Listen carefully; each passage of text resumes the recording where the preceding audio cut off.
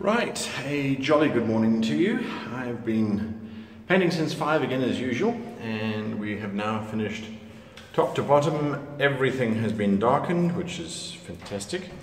We now are going to start the final phase of our painting, and I think something that I should point out, because I may have failed to do so, um, is that the style that we're going for, is not realistic stonework, it's the idea of stonework. And so the goal has always been to make it look good on camera, uh, not necessarily in real life. Although it looks okay in real life, um, it's not going to fool anyone.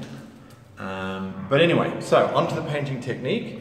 I'm going to try and do this. My cameraman is still very much asleep, so bear with me, guys.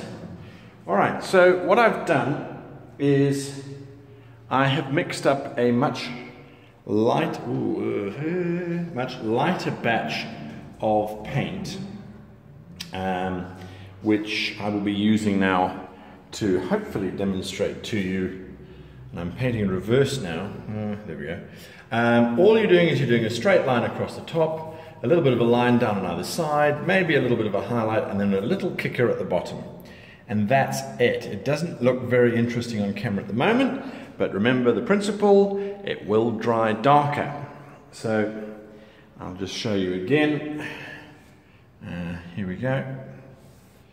Just a straight line across the top, a little bit of a line down, give it a bit of shading in the middle, and then a line across the bottom. Now that's not very dark, or bright, I should say. I'm going to try that again, just to really kick it open.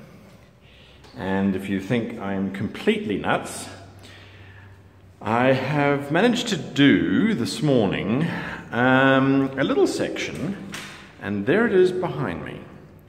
Do you see uh, uh, this strip is what I have done with the uh, highlighting, and do you see how it makes it just pop out of the picture, how it really gives it life? Um, and uh, there you can see I've started, but haven't got nearly as far. So I've left all the ladder work and the bending work for this evening. Um, I have to finish tonight. We have to move in tomorrow. Uh, we have to do the woodwork tomorrow in terms of making this awful cupboard uh, look a little bit more wood-like. And um, yeah, it's uh, really getting down to crunch time. We start recording on Sunday morning. I don't want to spend my entire weekend in here. Um, and of course, the big thing um, is this wonderful echo.